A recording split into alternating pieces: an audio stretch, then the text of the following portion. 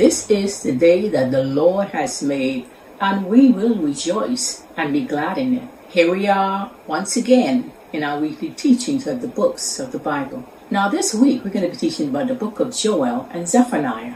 They are the minor prophets to Judah. An overview of the books. We continue our series of exploring the books of the 12 minor prophets by looking at the books of Joel and Zephaniah. These prophets prophesied to Judah, although Zephaniah also prophesied to surrounding countries. So first we look at the book of Joel. The name Joel means the Lord is God. He's identified as the son of Pethuel, but little more. It's not clear when the book was written. There are no references to kings to associate the book with anyone. Some commentators suggest the book was written in the 9th century BC. Others assign it to the 4th or 5th century BC, after the Babylonian exile. Joel's use of the term the Greeks in chapter 3 verse 6 is often used to argue a later date, but the Greeks were known to have access to Judah from 1600 to 1100 BC. While Joel does not mention a king, neither do Jonah, Nahum, and Habakkuk. So advocates for an early date place the book during the period the young Joash was being protected by Jehoiada the priest which is a range of 841 to 835 BC. The nations Joel refers to, and those he omits, also argue in favour of an early date. The academic debate continues and may never be conclusively resolved. Joel focuses on the southern kingdom of Judah and uses natural disasters to communicate spiritual truth. The locust plague is an analogy of a far greater spiritual catastrophe if Judah does not repent and return to the Lord. Images of disaster run through the book, but after the judgment is complete, all who call on the name of the Lord will be saved. Thus Joel was the first prophet to develop the theme of the coming day of the Lord on God's people and on the nations. This was fulfilled in part by the destruction of Judah and the exile in Babylon, but still has a future aspect to be fulfilled. Peter quoted Joel 2:28 to 32 in Acts 2 verses 16 to 21 as being fulfilled in Pentecost, and Jesus quoted Joel in his Olivet discourse in Matthew 24:29. There are three sections to the book of Joel. The first section is from chapter 1 through to verse 20 of chapter 1, which outlines the historic invasion and destruction. The second section is chapter 2, verses 1 to 17, which outlines the prophetic invasion and destruction. And the final section is from chapter 2, verse 18, through to chapter 3, verse 21, which outlines the restoration, covering the promised blessing and final triumph. The book of Joel opens with a call to the elders as to whether they have ever known such a disaster that is happening to them. Hear this, you elders. Listen, all who live in the land. Has anything like this ever happened in your days or in the days of your ancestors? Tell it to your children, and let your children tell it to their children and their children to the next generation. What the locust swarm has left the great locusts have eaten. What the great locusts have left, the young locusts have eaten. What the young locusts have left, other locusts have eaten. A nation has invaded my land, a mighty armor without number. It has the teeth of a lion, the fangs of a lioness. It has laid waste my veins and ruins my fig trees. It has stripped off their bark and thrown it away, leaving their branches white, mourning like a virgin in sackcloth, grieving for the birthright of her youth. Grain offerings and drink offerings are cut off from the house of the Lord. The priests are in mourning, those who minister before the Lord. The fields are ruined, the ground is dried up, the grain is destroyed, the new wine is dried up, the olive oil fails. Despair, you farmers, wail, you vine growers, grieve for the wheat and the barley, because the harvest of the field is destroyed, the vine is dried up, and the fig tree is withered, the pomegranate and the palm and the apple tree, all the trees of the field are dried up. Surely the people's joy is withered away. The locusts are compared to a mighty army that has invaded the land. The disaster is so great, Joel calls for the priests to call for a holy fast and a sacred assembly. Declare a holy fast. Call a sacred assembly. Summon the elders and all who live in the land to the house of the Lord your God and cry out to the Lord. Alas for that day, for the day of the Lord is near. It will come like destruction from the Almighty. The day of the Lord can refer to a present judgment of God on his people, or on foreign nations, or to God's final judgment on all evil at the end of the age, relation and return of Christ. The use in verse 15 relates to judgment at that time, Later use of the term in the book of Joel refers to the final day of the Lord. Blow the trumpet in Zion. Sound the alarm on my holy hill. Let all who live in the land tremble, for the day of the Lord is coming.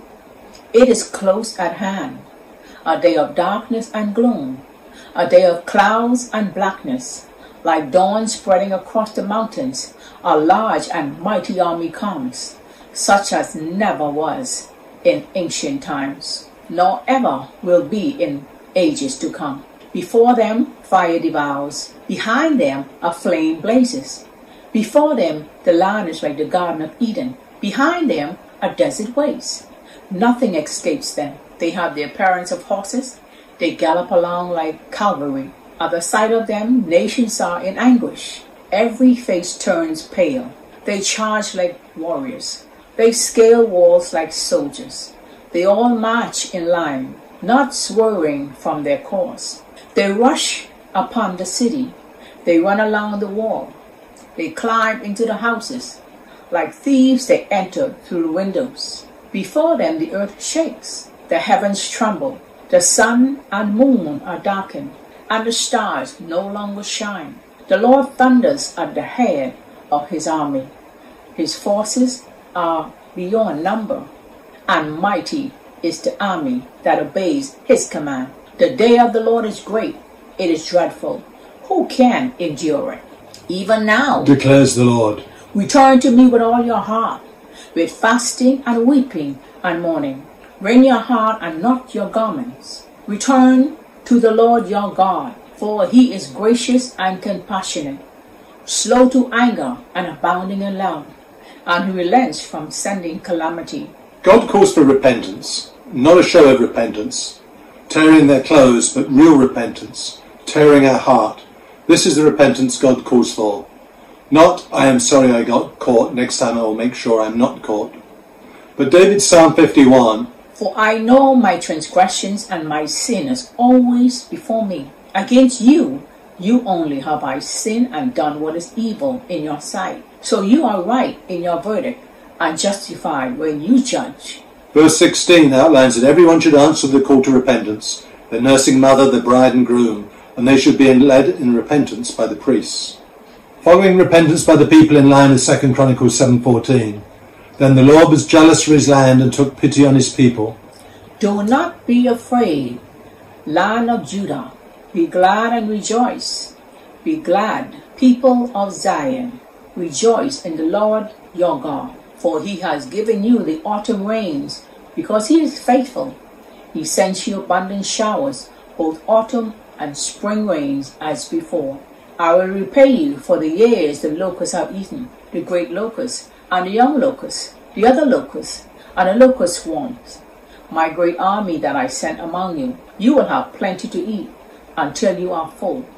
And you will praise the name of the Lord your God, who has worked wonders for you. Never again will my people be ashamed. Then you will know that I am in Israel, that I am the Lord your God, and there is no other. Never again will my people be shamed. The Lord's reply covers the immediate and future destiny of Israel. This continues in verse 28 to 32, which looks both to Pentecost and to the final judgment. And afterwards I will pour out my spirit on all people. Your sons and daughters will prophesy. Your old man will dream dreams. Your young man will see visions. Even on my servant, both men and women, I will pour out my spirit in those days. I will show wonders in the heavens and on the earth blood and fire and billows of smoke. The sun will be turned to darkness and the moon to blood before the coming of the great and dreadful day of the Lord. And everyone who calls on the name of the Lord will be saved. For on Mount Zion and in Jerusalem there will be deliverance, as the Lord has said, even among the survivors whom the Lord calls. In those days and at that time, when I restore the fortunes of Judah and Jerusalem, I will gather all nations and bring them down to the valley of Jehoshaphat. There I will put them on trial for what they did to my inheritance, my people Israel, because they scattered my people among the nations and divided up my land, Let the nations be rose, let them advance in the valley of Jehoshaphat. For there I will sit to judge all the nations on every side. Swing the sickle, for the harvest is ripe. Come, trample the grapes, for the winepress is full, and the vats overflow. So great is their wickedness. Multitudes, multitudes in the valley of decision. For the day of the Lord is near in the valley of decision. The sun and moon will be darkened, and the stars no longer shine. The Lord will roar from Zion and thunder from Jerusalem. The earth and the heavens will tremble, but the Lord will be a refuge for his people, a stronghold for the people of Israel. Then you will know that I, the Lord your God, dwell in Zion. My holy hill, Jerusalem, will be holy. Never again will foreigners invade her. In that day, the mountains will drip new wine, and the hills will flow with milk. All the ravines of Judah will run with water. A fountain will flow out of the Lord's house, and will water the valley of Acacia. But Egypt will be desolate, Edom a desert waste, because of violence done to the people of Judah, in whose land they shed innocent blood. Judah will be inhabited forever, and Jerusalem through generations. Should I leave their innocent blood unavenged? No, I will not. The Lord dwells in Zion. Joel concludes with the promise that in the future Jerusalem will be delivered from her enemies, and God will bless his people by dwelling among his people and showing them his love and care. The book of Zephaniah. Zephaniah, whose name means the Lord hides, prophesied during the reign of Josiah, son of Amon, king of Judah, between 640 and 609 BC. Zephaniah was the great great grandson of King Hezekiah and the only known prophet of royal descent. Zephaniah was a contemporary of Habakkuk and Jeremiah and had a ministry in Judah in the final years leading up to the fall of Jerusalem in 607 BC. Many of the sins Zephaniah prophesied against Judah indicate he prophesied before Josiah's reforms that started in about 627 BC, and he may have been a factor in driving those reforms. Zephaniah is a book of warning not only about judgments that were fulfilled in ancient times against Judah and surrounding nations, but also about a future judgment on the entire earth. After this future judgment, all nations will call on the name of the Lord. Zephaniah focuses on two aspects of the day of the Lord. It's a day of wrath and it's a day of blessing. The book of Zephaniah has three sections. The first, the worldwide judgment and judgment on Judah, chapters 1, 1 to 2, 3. The second section is from judgment on Judah to judgment on Jerusalem, from chapter 2 verse 4 to chapter 3 verse 7. And the third section is from the judgment and purification of the Gentiles to the renewal and blessing of Israel, which goes from chapters 3 verses 8 to uh, chapter 3 verse 20. The book starts by Zephaniah prophesying coming destruction. I will sweep away everything from the face of the earth, declares the Lord. I will sweep away both man and beast. I will sweep away the birds in the sky and the fish in the sea and the idols that cause the wicked to stumble.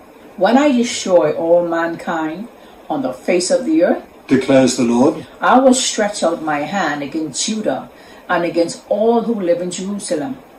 I will destroy every remnant of Baal worship in this place. The very names of the idolatrous priests, those who bow down on the roofs to worship the starry host, those who bow down and swear by the Lord, and who also swear by Molech, those who turn back from following the Lord, and neither seek the Lord nor inquire of him.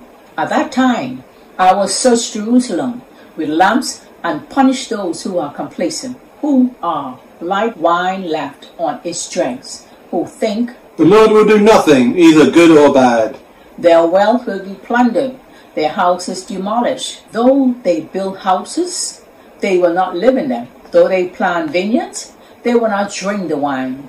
The great day of the Lord is near, near and coming quickly. The cry on the day of the Lord is bitter. The mighty warrior shouts his battle cry. That day will be a day of wrath, a day of distress and anguish, a day of trouble and ruin, a day of darkness and gloom, a day of clouds and blackness, a day of trumpet and battle cry against the fortified cities and against the corner towers. I will bring such distress on all people that will group about like those who are blind because they have sinned against the Lord. Their blood will be poured out like dust, and their entrails like dung. Neither their silver nor their gold will be able to save them on the day of the Lord's wrath. In the fire of his jealousy, the whole earth will be consumed, for he will make a sudden end of all who live on the earth. Zephaniah goes on to call for repentance. In chapter 2, Gather together, gather yourselves together, you shameful nation, before the decree takes effect, and that day passes like wind-blown chaff, before the Lord's fierce anger comes upon you, before the day of the Lord's wrath comes upon you. Seek the Lord, O you humble of the land, you who do what he commands. Seek righteousness, seek humility. Perhaps you'll be sheltered on the day of the Lord's anger. Only seeking repentance will save Judah. This is what they will get in return for their pride, for insulting and mocking the people of the Lord Almighty. The Lord will be awesome to them when he destroys all the gods of the earth. Distant nations will bow down to him, all of them in their own lands. This prophecy is against the Philistine cities, and Moab, Ammon, Cush, and Assyria. Then Zephaniah turns to judgment on Jerusalem. But it's become evident that most of Judah will not repent, and so Zephaniah pronounces a woe oracle over them. Woe to the city of oppressors, rebellious and defiled! She obeys no one, she accepts no correction. She does not trust in the Lord, she does not draw near to her God. Her officials within her are roaring lions. Her rulers are evening wolves who leave nothing for the morning. Her prophets are unprincipled, they're treacherous people. Her priests profane the sanctuary and do violence to the law. God declares, I have destroyed nations. Their strongholds are demolished. I have left their streets deserted, with no one passing through. Their cities are laid waste. They are deserted and empty. Of Jerusalem I thought, surely you will fear me and accept correction. Then her place of refuge would not be destroyed, nor all my punishments come upon her but they were still eager to act corruptly in all they did. Therefore, wait for me, declares the Lord. For the day I will stand up to testify. I have decided to assemble the nations, to gather the kingdoms, and to pour out my wrath on them. All my fierce anger, the whole world will be consumed by the fire of my jealous anger. God will assemble and testify against all nations. But judgment is not God's final word. His salvation comes after the destruction of those who have not repented. Then I will purify the lips of the people, that all of them may call on the name of the Lord and serve him shoulder to shoulder. From beyond the rivers of Cush, my worshippers, my scattered people, will bring me offerings. On that day, you, Jerusalem, will not be put to shame for all the wrongs you have done to me because I will remove from you your arrogant boasters. Never again will you be haughty on my holy hill, but I will leave within you the meek and humble. The remnant of Israel will trust in the name of the Lord. They will do no wrong. They will tell no lies. A deceitful tongue will not be found in their mouth. They will eat and lie down, and no one will make them afraid. Sing, daughter Zion, shout aloud, Israel.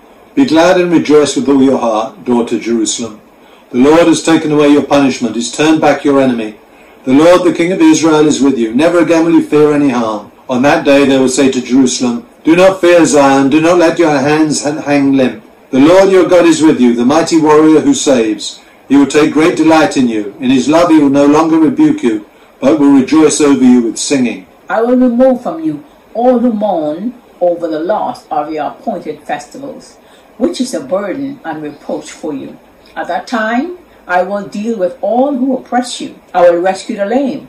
I will gather the exiles. I will give them praise and honor in every land where they have suffered shame. At that time, I will gather you. At that time, I will bring you home.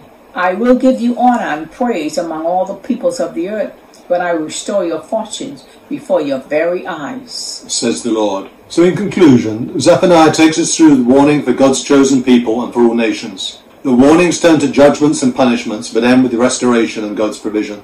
Our society today seems to echo the cry in Zephaniah 1.12. The Lord will do nothing, either good or bad. What determines how far down this road we go? Only the degree that we repent of our sins. We cannot be cleansed of our sin by our own efforts, but only by accepting the atoning sacrifice of Jesus Christ will we be in the remnant that enjoys God's blessings on the future day of the Lord.